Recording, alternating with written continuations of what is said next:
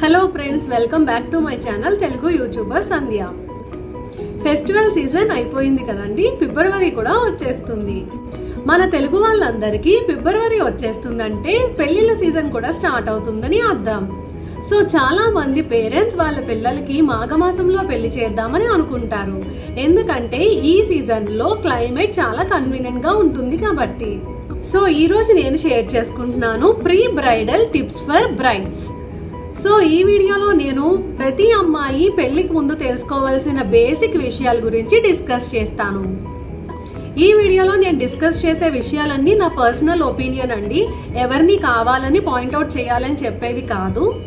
So ఈ video start చేసే ముందు మీరు కనుక నా ఛానల్కి ఫస్ట్ టైం వచ్చినట్లయితే కింద ఉన్న రెడ్ కలర్ సబ్స్క్రైబ్ బటన్ని ప్రెస్ చేయండి. పక్కనున్న బెల్ ఐకాన్ని కూడా క్లిక్ చేయండి. అలా చేయడం వల్ల నేను అప్లోడ్ చేసే వీడియోస్ అన్ని మీరు మిస్ కాకుండా చూడొచ్చు. సో ఇప్పుడు మన వీడియోలోకి వెళ్ళిపోదాం. ఫస్ట్ అసలు పేరెంట్స్ వచ్చి అమ్మాయిని అడుగుతారు కదా ఇలా పెళ్ళి సంబంధాలు చూద్దాం అనుకుంటున్నాము నీకు ఓకేనా కాదా అని అడుగుతాం కదా. సో అప్పుడు మీరు ఇమీడియట్గా ఓకే అని బ్లైండ్గా చెప్పేయకండి. కొంచెం టైం తీసుకుని చెప్తాను అని చెప్పండి. ఎందుకంటే ఈ టైంలో మీరు కొంచెం మీ గురించి ఆలోచించుకునే టైం దొరుకుతుంది. ఈ సిరీస్లో నేను డిస్కస్ చేసే ఫస్ట్ టిప్ ఏంటంటే are you ready to get marriage yes ఇది చాలా ఇంపార్టెంట్ అండి. ఎందుకంటే మీరు ఓకే అని బ్లైండ్గా చెప్పేసి పెళ్ళి అది అయిపోయిన తర్వాత మీకు స్టార్టింగ్లో అయితే పెళ్ళయిన తర్వాత ఏమీ అనిపించదు. ఫైవ్ సిక్స్ మంత్స్ తర్వాత కొంచెం కొంచెం అప్పుడే ఎందుకు పెళ్ళి చేసుకున్నావు? ఇంకా కొంచెం వెయిట్ చేయవలసింది అని రిగ్రెట్ ఫీల్ అవుతారు. సో అలా రిగ్రెట్ ఫీలింగ్ రాకుండా ఉండాలంటే మీతో మీరే డిస్కస్ చేసుకోండి. లైక్ uh, నేను పెళ్ళికి రెడీగా ఉన్నానా లేదా? నా ఏజ్ పెళ్ళికి కరెక్టా కాదా? సో పెళ్ళి తర్వాత నేను వేరే ఫ్యామిలీతో వెళ్ళి వాళ్ళతో కలిసి ఉండాలి. వీటన్నిటికీ నేను ప్రిపేర్డ్గా ఉన్నానా లేదా? ఇటువంటి విషయాలన్నీ మీతో మీరు ఒకసారి డిస్కస్ చేసుకుని చూడండి. సో ఇలా డిస్కస్ చేసుకునే టైంలో ఎస్ నేను పెళ్ళికి రెడీగా ఉన్నాను అనే ఫీలింగ్ మీకు వచ్చినట్లయితే అప్పుడు వెళ్ళి మీ పేరెంట్స్కి చెప్పండి. ఇక్కడ ఇంకో విషయం ఏమిటంటే మీరు ఓకే అని చెప్పేటప్పుడు మీ పేరెంట్స్కి ఈ థాట్స్ కూడా షేర్ చేసుకోండి. లైక్ మీకు బిజినెస్ అబ్బాయి కావాలా? జాబ్ ఉండాలా? ఫైనాన్షియల్గా సెటిల్డ్ ఉండాలా? లేకపోతే మంచి జాబ్ చేస్తే సరిపోతుందా? ఇంకా జాయింట్ ఫ్యామిలీలో ఉండాలా? లేకపోతే మీరు సెపరేట్గా ఉండాలనుకుంటున్నారా? ఇటువంటి విషయాలన్నీ ముందే మీ పేరెంట్స్తో డిస్కస్ చేయండి. సో వాళ్ళు మీకు కావాల్సిన అబ్బాయిని చూసేటప్పుడు ఇటువంటి విషయాలన్నీ వాళ్ళ మైండ్లో పెట్టుకుని మీకు నచ్చే అబ్బాయిని తీసుకురావడంలో హెల్ప్ చేస్తారు. సో మీ థాట్స్ అనేవి మీ పేరెంట్స్తో షేర్ చేసుకోవడం కూడా చాలా ముఖ్యం. ఇప్పుడు నేను చెప్పే సెకండ్ టిప్ ఏంటంటే discuss your thoughts with your hubby ఇక్కడ ఇంకో విషయం ఉందండి. ఎంగేజ్మెంట్కి అండ్ పెళ్ళికి మధ్యలో త్రీ మంత్స్ టైం పీరియడ్ ఉంటే బాగుంటుందని నా ఒపీనియన్ ఎందుకంటే ఈ టైం గ్యాప్లో మీరు మీ హస్బెండ్ మీ థాట్స్ని షేర్ చేసుకోవడానికి టైం దొరుకుతుంది. ఈ టైంలో మీరు మీ హస్బెండ్ గురించి పూర్తిగా తెలుసుకోవడానికి ట్రై చేయండి. అంటే మాక్సిమం మీరు ఎంత వరకు తెలుసుకోవాలో అదంతా తెలుసుకోవడానికి ట్రై చేయండి. మీరు ఫస్ట్ నుంచి కూడా ఒకరి మీద ఒకళ్ళు రెస్పెక్ట్ ఉండేలాగా చూసుకోండి. మీ హస్బెండ్ ఫ్యూచర్ ప్లాన్స్ గురించి ఇంకా హాబీస్ గురించి ఖాళీ టైంలో ఏం చేస్తుంటారు? స్పోర్ట్స్ ఇష్టమా? ట్రావెలింగ్ ఇష్టమా? ఫుడ్డియా ఖాళీ టైంలో ఏం చేయడానికి ఇష్టపడతారు? ఇటువంటి బేసిక్ విషయాలన్నీ తెలుసుకోవడానికి ట్రై చేయండి. అండ్ ఈ టైంలోనే మీకు నచ్చిన విషయాల్ని కూడా షేర్ చేసుకోండి. సో దట్ ఒకరికొకరు మీ ఇష్టాలు అనేవి తెలుస్తుంది కాబట్టి ఫ్యూచర్లో ఎటువంటి ప్రాబ్లం రాకుండా ఉంటుంది. ఇక్కడ ఇంకో ఇంపార్టెంట్ టిప్ ఏంటంటే మీరు long term goals short term goals set చేసుకోండి.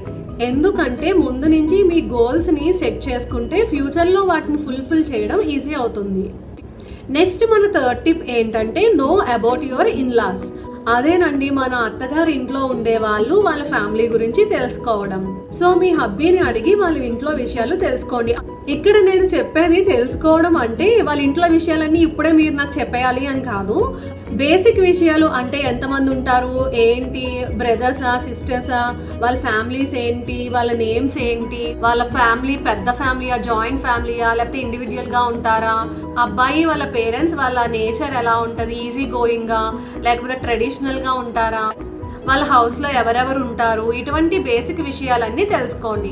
ఇంకా వాళ్ళ ఫ్యామిలీ ట్రెడిషన్స్ ఏమన్నా ఉంటే కూడా మీరు ముందుగానే తెలుసుకోండి. సో దట్ మీకు తర్వాత తర్వాత కొంచెం డిఫికల్ట్ అవ్వకుండానే ముందుగానే మీకు తెలిసి ఉంటుంది కాబట్టి మీ బ్రెయిన్ని మీరు మెంటల్గా ఫిక్స్ చేసుకుంటారు. సో ఇప్పుడు మన నెక్స్ట్ టిప్ ఏంటంటే షాపింగ్ ఫర్ మ్యారేజ్ జనరల్గానే గర్ల్స్కి షాపింగ్ అంటే చాలా ఇంట్రెస్ట్ కదండి. మంచిగా కనిపించినవన్నీ కొనేస్తూ ఉంటాము. సో అలా కాకుండా షాపింగ్కి వెళ్ళేటప్పుడు మీ హబ్బీ హెల్ప్ కూడా తీసుకోండి. సో దట్ మీకు ఎటువంటివి ఇష్టము ఏ- ఏ కలర్స్ ఇష్టము ఎలా ఉంటే ఇష్టం అనేది మీ హబ్బీకి అర్థమవుతుంది. అండ్ తను కూడా తన సజెషన్స్ని మీకు చెప్తారు కాబట్టి తనకి ఎటువంటివి ఇష్టమో మీకు తెలుసుకునే ఛాన్స్ కూడా దొరుకుతుంది. షాపింగ్ దగ్గర ముందు మీరు ఎక్కువ శారీస్ అవి తీసుకోకండి. ఎందుకంటే ఇప్పుడు ప్రెసెంట్ ఎవరు అంత శారీస్ కట్టుకునే ఉండాలి అలా అనే వాళ్ళు ఎవరు లేరు. అందరూ కుర్తాస్ టాప్స్ ఇటువంటివన్నీ ఎంకరేజ్ చేస్తున్నారు మన పేరెంట్స్ కూడా. సో ఆల్రెడీ మన పేరెంట్స్ శారీస్ అవి కొనేసి ఉంటారు కాబట్టి శారీస్ అవి ఫంక్షన్స్ వరకునే తీసుకోవడం మంచిది అని నా ఒపీనియన్ ఈ షాపింగ్ టైంలోనే మీ పెళ్ళి పట్టు చీర గురించి కూడా షాపింగ్ చేసేయండి. లైక్ లిప్స్టిక్ కానీ బొట్టుపిల్లలు కానీ బ్యాంగిల్స్ ఇయర్ రింగ్స్ ఆర్నమెంట్స్ అన్నీ ఇప్పుడే సెట్ చేసుకోండి. అండ్ మెయిన్ చెప్పేది ఏంటంటే బ్లౌజెస్ అండి. ఇప్పుడు శారీస్ కన్నా బ్లౌజెస్కి ఇంపార్టెన్స్ ఎక్కువగా ఇస్తున్నాం కదా. సో మీరు బ్లౌజెస్ కోసం కూడా ముందుగానే ప్లాన్ చేసుకుని ప్యాటర్న్స్ కుట్టించుకోవాలా లేకపోతే మగ్గం వర్క్ చేయించుకోవాలా ఇటువంటివన్నీ ముందే చూసుకోండి. అండ్ ఇక్కడ ఇంకో విషయం ఏంటంటే మీరు ప్రతి శారీకి బ్లౌజ్ అనేది స్టిచ్ చేయించుకోకండి. అంటే మెయిన్ ఇంపార్టెంట్ శారీస్కి స్టిచ్ చేయించేసుకోండి అండ్ మిగిలిన శారీస్కి రెడీమేడ్ బ్లౌజెస్ వస్తున్నాయి కాబట్టి సో దాంతో మేనేజ్ చేసేయండి. ఎందుకంటే పెళ్ళి అయిన తర్వాత చాలా మంది ఫంక్షన్స్ గురించి హార్మోనల్ చేంజెస్ గురించి సన్నగా అవ్వడం లావుగా అవ్వడం ఇటువంటివన్నీ జరుగుతూ ఉంటుంది. సో మీరు ఇప్పుడే అన్ని శారీస్ మీద బ్లౌజెస్ స్టిచ్ చేయించేసుకుంటే తర్వాత అవి పట్టకపోవడం లేకపోతే లూజ్ అయిపోవడం ఇటువంటివన్నీ జరుగుతుంది. సో మెయిన్ ఇంపార్టెంట్ శారీస్కి స్టిచ్ చేయించుకోండి. మిగిలిన వాటికి రెడీమేడ్తో మేనేజ్ చేసుకోండి. ఇదంతా నా పర్సనల్ ఒపీనియన్ నేను చెప్తున్నానండి. ఇవే ఫాలో అవ్వాలని కాదు. నా ఫీలింగ్ని నేను షేర్ చేసుకుంటున్నాను మీతో. సో మీకు ఏమైనా హెల్ప్ఫుల్ అయితే నాతో కామెంట్ సెక్షన్లో షేర్ చేసుకోవడం మర్చిపోకండి. ఇప్పుడు మన నెక్స్ట్ టిప్లోకి వెళ్ళిపోదాం. సో ఇప్పుడు మన ఫిఫ్త్ టిప్ ఏంటంటే ప్యాకింగ్ ఫర్ మ్యారేజ్ మ్యారేజ్ టైంలో ప్యాకింగ్ చేయడానికి మనకి చాలా మంది హెల్ప్ చేస్తారండి. సో చిన్న చిన్న విషయాల్ని మనం నెగ్లెక్ట్ చేసి ఓకే మనం నెక్స్ట్ ప్యాక్ చేసుకుందాం ఇది ఇంకా టైం ఉంది కదా చూద్దాం ఇలా అనుకుంటూ ఉంటాము.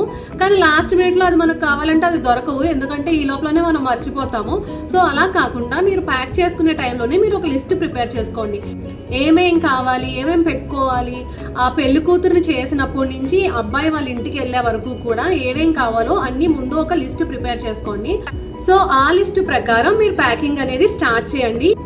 సో ఇక్కడ ఇంకో విషయం ఏంటంటే మీరు ప్యాక్ చేసుకునేటప్పుడు మీరు ఫంక్షన్కి తగ్గట్టు మీ ప్యాకింగ్ అనేది చేసుకోండి. ప్యాకింగ్ చేసేటప్పుడు మీరు పెళ్ళి కూతురు ఫంక్షన్కి వేరేగా పెళ్ళికి వేరేగా ప్యాక్ చేసుకోండి. ఎందుకంటే రెండు కలిసి ఒక దాంట్లోనే పెట్టుకుంటే మీకు ఆ మెస్ అయిపోతూ ఉంటుంది. త్వర త్వరగా రెడీ అవ్వాలి అంటారు ఫాస్ట్ ఫాస్ట్గా వచ్చేయమంటారు. సో ఇలా గబగబా తీసుకుని అక్కడ పెట్టేసి అలా చేయడం వల్ల మెస్ అయిపోతూ ఉంటుంది. సో అలా కాకుండా పెళ్ళి కూతురు ఫంక్షన్కి వేరేగా పెళ్ళికి వేరేగా ప్యాక్ చేసుకోండి. అండ్ దేనికి మ్యాచింగ్ దానికి పెట్టుకోండి. అండ్ పెళ్ళి కూతురు function bangles ear rings lipsticks అన్ని అక్కడ ఒక చోట పెట్టుకోండి. అండ్ పెళ్ళికి తగ్గ bangles lipsticks ear rings ornaments ఇంకా పూల జడ ఇంకా డెకరేటివ్ ఐటమ్స్ ఇవన్నీ వేరేగా పెట్టుకోండి. సో దట్ అవి ఇవి క్లాష్ అవ్వకుండా ఉంటాయి. ఇంకా మెస్ కూడా జరగదు. ఇక్కడ ప్యాకింగ్లో మీ హ్యాండ్ బ్యాగ్ ప్యాకింగ్ కూడా చాలా ముఖ్యమండి. ఎందుకంటే మీ హ్యాండ్ బ్యాగ్లో మీరు ఖచ్చితంగా ఆ రోజు మీరు పెట్టుకునే లిప్స్టిక్ బొట్టు బిల్లలు pins safety pins slides plucker rubber bands ఇటువంటి అన్ని ఖచ్చితంగా పెట్టుకోవాలండి. ఎందుకంటే మీరు మేకప్ వేసుకుని ఉంటారు సో ఆ మేకప్కి ఆయిల్ ప్రొడ్యూస్ అయ్యి మీ స్టిక్కర్ అనేది పడిపోతూ ఉంటుంది. సో అందుకని స్టిక్కర్ అనేది మీ హ్యాండ్ బ్యాగ్లో అవైలబుల్గా ఉంటే ఎప్పుడు అది మిస్ అయినా సరే మీరు మళ్ళీ కొత్తది పెట్టుకోవడానికి ఉంటుంది. ఆఫ్టర్ మ్యారేజ్కి కూడా అంటే మనం అత్తగారి ఇంటికి వెళ్ళిన తర్వాత కూడా త్రీ ఫోర్ డేస్ అయితే వాళ్ళ ఇంట్లో ఉండడం జరుగుతుంది. సో అప్పటి ప్యాకింగ్ కూడా మీరు సెపరేట్గా ప్యాక్ చేసుకోండి. మీరు ముందు పెళ్ళి కూతురు ఫంక్షన్కి అండ్ పెళ్ళికి మీరు ఎవరన్నా హెల్ప్ తీసుకున్నా పర్వాలేదు. కానీ తర్వాత ప్యాకింగ్ అంటే పెళ్ళి తర్వాత ప్యాకింగ్కి మాత్రం మీరు ఎవరి హెల్ప్ తీసుకోకండి. మీకు మీరే ప్యాక్ చేసుకోండి. ఎందుకంటే అందరూ పెళ్ళి తర్వాత అత్తవారింటికి అది రారు. సో ఏది కావాలన్నా మీకు హ్యాండీగా ఉండాలి. సో అలా ఉండాలి అంటే మీరు మీ ప్యాకింగ్ మీరు చేసుకోవడమే బెటర్ ఒక టూ త్రీ డేస్కి ఏవేం కావాలో అన్ని ముందుగానే ప్యాక్ చేసుకుని పెట్టుకోండి సెపరేట్గా సో ప్యాకింగ్ టైంలో మీరు ఖచ్చితంగా ఒక నోట్ తయారు చేసుకుని దాన్ని బట్టి ప్యాక్ చేసుకోవడం చాలా ముఖ్యము. ఇప్పుడు మన sixth and last important tip ఏంటంటే ఆఫ్టర్ మ్యారేజ్ టిప్స్. సో మనము ఫస్ట్ టైం అత్తవారి ఇంటికి వెళ్ళడం జరుగుతుంది కదండి పెళ్ళయిన తర్వాత. అక్కడ మనకు కొంచెం నర్వస్గా ఉంటుంది మనకి ఏమన్నా కావాలన్నా ఓపెన్గా చెప్పలేము కొంచెం భయం భయంగా ఉంటూ ఉంటుంది.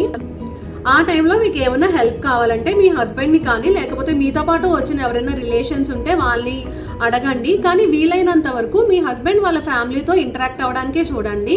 ఎందుకంటే స్టార్టింగ్ నుంచి మీరు వాళ్ళతో ఇంటరాక్ట్ అవుతూ ఉంటే మీకు రిలేషన్ అనేది బాగుంటుంది. అండ్ ఫస్ట్ టైం అత్తారింటికి వెళ్ళిన తర్వాత కూడా వాళ్ళ ట్రెడిషన్స్ ప్రకారం కొన్ని కొన్ని ఫంక్షన్స్ అనేవి ఉంటూ ఉంటాయి. సో మీ అత్తవారి ఇంట్లో వాళ్ళ ట్రెడిషన్స్ ప్రకారం స్టార్టింగ్ కొన్ని ఫంక్షన్స్ అంటూ ఉంటాయి. సో అప్పుడు అందరూ వచ్చి మిమ్మల్ని పలకరిస్తూ ఉంటారు. పలకరించినప్పుడు కొంచెం కాన్షియస్తో ఉండండి. ఎందుకంటే వాళ్ళు మిమ్మల్ని చూడడానికే వస్తారు కదా. సో వాళ్ళతో మాట్లాడేటప్పుడు నవ్వుతూ మాట్లాడడం ఇంప్రెసివ్గా ఉండడం వాళ్ళు ఏమన్నా అడిగితే భయపడకుండా మంచిగా సమాధానం చెప్పడం ఇటువంటివన్నీ చెయ్యండి సో దట్ వాళ్ళకి కొంచెం మంచి ఇంప్రెషన్ ఉంటుంది. అడిగిన వెంటనే అమ్మాయి బాగానే చెప్తుంది బాగానే కలుస్తుంది మనతో అని ఉంటుంది. అండ్ మనకి కూడా గుర్తుంటుంది. వాళ్ళు అడిగిన విషయాలు ఏంటి వాళ్ళు ఎవరు ఏంటి అని మనం కూడా ఈజీగా వాళ్ళ ఫ్యామిలీ గురించి తెలుసుకోగలుగుతాం. ఆఫ్టర్ మ్యారేజ్ ఏంటంటే మీకు గనక బావగారు తోడుకోళ్ళు అలా ఉన్నా లేకపోతే ఆడపడుచులు ఉన్నా వాళ్ళతో ఎక్కువ ఇంటరాక్ట్ అవ్వడానికి చూడండి. వాళ్ళ పిల్లలు కానీ వాళ్ళ లేకపోతే మీ వదిన కానీ లేకపోతే మీ అక్క కానీ ఇలా వాళ్ళతో ఇంటరాక్ట్ అవుతూ ఉండండి. ఎందుకంటే ఎంత త్వరగా మీరు ఆ ఫ్యామిలీతో కలిస్తే మీ బాండింగ్ అనేది అంత స్ట్రాంగ్గా ఉంటుంది. సో స్టార్టింగ్ వాళ్ళ ఇంటికి వెళ్ళినప్పుడు మీరు టూ త్రీ డేస్ అయితే ఉంటారు కదా అప్పుడు మీరు అబ్జర్వ్ చేయండి వాళ్ళు ఎలా ఉంటున్నారు ఏంటి మీతో క్యాజువల్గా ఉంటున్నారా ఫ్రెండ్లీగా ఉంటున్నారా? అందరూ కూర్చుని మాట్లాడుకునేటప్పుడు ఎవరైనా జోక్ వేసినా వాళ్ళకి ఎలా రియాక్ట్ అవుతున్నారు? లైట్ తీసుకుని వదిలేస్తున్నారా లేకపోతే కొంచెం ఫీల్ అవుతున్నారా? లేకపోతే హట్ అవుతున్నారా? వాళ్ళ మనస్తత్వం ఎటువంటిది ఇటువంటివన్నీ కొంచెం అబ్జర్వ్ చేయండి. సో అందరూ కూర్చొని మాట్లాడుకునేటప్పుడు మీకు ఏమైనా తెలియని విషయం ఉంటే కనుక మీరు వెంటనే రియాక్ట్ అవ్వకండి. రియాక్ట్ అయ్యి అడిగే కన్నా మీరు తర్వాత మీ హస్బెండ్ అడిగి తెలుసుకోవడం మంచిది. అండ్ మీ అత్తవారి ఇంట్లో వాళ్ళు కూడా మిమ్మల్ని అబ్జర్వ్ చేస్తూ ఉంటారు. ఇది మాత్రం మర్చిపోకండి. అంటే ఇప్పటి వరకు మీరు వాళ్ళు అంటే అప్పుడప్పుడు కలుసుకోవడం మాట్లాడటమే కానీ అంటే ఎప్పుడు వచ్చి ఇంట్లో ఉండడం అది జరగదు కదా. సో మీ గురించి కూడా వాళ్ళు తెలుసుకోవడానికి ట్రై చేస్తూ ఉంటారు. సో మీరు ఏది మాట్లాడినా ఏ పని చేసినా కొంచెం కాన్షియస్తో ఉండండి. సో ఇదే ఫ్రెండ్స్ ఈ రోజు నేను మీతో షేర్ చేసుకునే ప్రతి అమ్మాయి పెళ్ళికి ముందు తెలుసుకునే బేసిక్ టిప్స్. ఈ టిప్స్ మీకు హెల్ప్ అవుతాయి అని అనుకుంటున్నాను. ఇది ఓన్లీ నా పర్సనల్ ఒపీనియన్ మాత్రమేనండి. మీకు గనక నా ఒపీనియన్స్ నచ్చితే కామెంట్ సెక్షన్లో నాతో షేర్ చేసుకోవడం మర్చిపోకండి. ఈ వీడియో కనుక మీకు నచ్చినట్లయితే లైక్ చేయండి షేర్ చేయండి ఇంకా నా ఛానల్ని సబ్స్క్రైబ్ చేయండి. నేను మళ్ళీ కలుస్తాను నెక్స్ట్ వీడియోలో. అప్పటి వరకు బాయ్ బాయ్.